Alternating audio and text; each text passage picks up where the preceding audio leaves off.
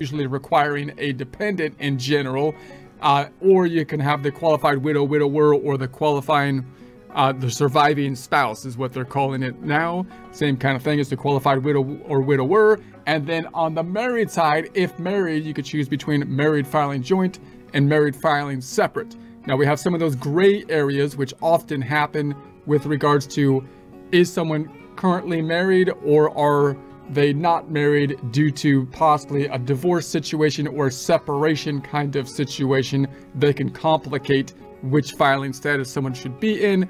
And with regards to the dependent, oftentimes a dependent child, custody issues with regards to the dependent child could cause problems when you're trying to determine a filing status between a single individual, for example, or a head of household situation. Obviously, they would like to move up to a head of household situation if you can, because that's usually a beneficial status from single in a uh, tax scenario.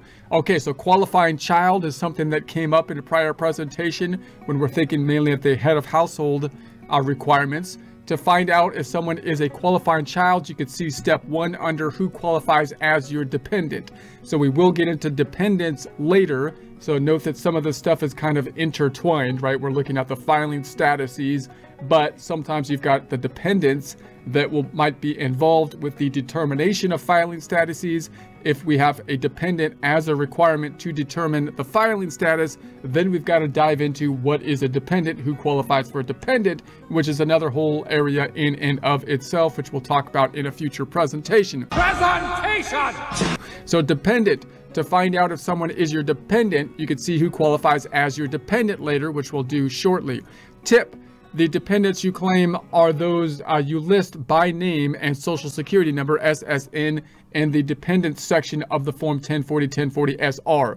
So the dependents, of course, are on the page one of the 1040. They have their own implications from a tax implication in that you might have, for example, a credit related to the dependent and they could have some impacts on the filing statuses as we are seeing here.